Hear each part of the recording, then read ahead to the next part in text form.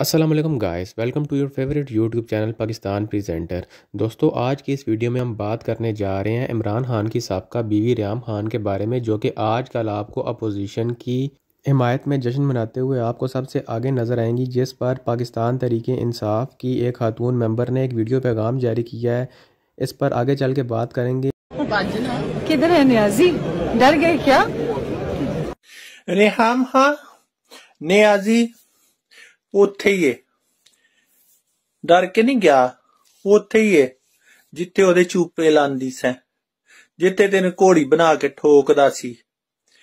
ਉਹ ਬੰਨੀ ਗੱਲ ਦੇ ਪਿਛਲੇ ਪਾਸੇ, ਜਿੱਥੇ ਸ਼ੇਰੂ ਉਹਦੇ ਸ਼ੇਰੂ ਕੁੱਤੇ ਦੇ ਨਾਲ ਤੈਨੂੰ ਕਮਾਂਦਾ ਫਰਾਂਦਾ ਸੀ ਤੇ ਨਾਲੇ ਜਦੋਂ ਵੇਲੇ ਵੇਲੇ ਤੇਰੇ ਤੇ ਕੁੱਤਾ ਵੀ ਚੜਾਉਂਦਾ ਸੀ। ਨਿਆਜ਼ੀ ਉੱਥੇ ਹੀ ਆ। ਤੂੰ ਕੁੱਤੀ ਸਾਰੀ ਜ਼ਿੰਦਗੀ ਜ਼ਲੀਲ ਹੋਣਾ ਪੂਰੇ ਸਿਆਸਤਦਾਨਾਂ ਦੇ ਬੈੱਡਰੂਮਾਂ ਦੇ ਵਿੱਚੋਂ ਫਿਰ ਫਿਰ ਕੇ ਤੇ ਤੂੰ ਅਸੈਂਬਲੀ ਤੱਕ ਤੇ ਪਹੁੰਚ ਗਈ ਅਸੈਂਬਲੀ ਦੀ ਗੈਲਰੀ ਤੱਕ। ਅੱਗੇ ਵੇ, ਤੂੰ ਪਤਾ ਨਹੀਂ ਕਿੰਨੇ ਕਿੰਨੇ ਬੈੱਡਾਂ ਦੇ ਬੈੱਡਰੂਮ ਜਾਣੇ ਨੇ ਤੇ ਫਿਰ ਵੀ ਤੈਨੂੰ ਜੁੱਤੀਆਂ ਪੈਣੀਆਂ ਨੇ। ਕਿਸੇ ਤੈਨੂੰ ਲਾਨਤ ਵੀ ਨਹੀਂ ਪਾਣੀ। ਲਾਨਤ ਤੇਰੇ ਤੇ ਬੇਸ਼ਮਾਰ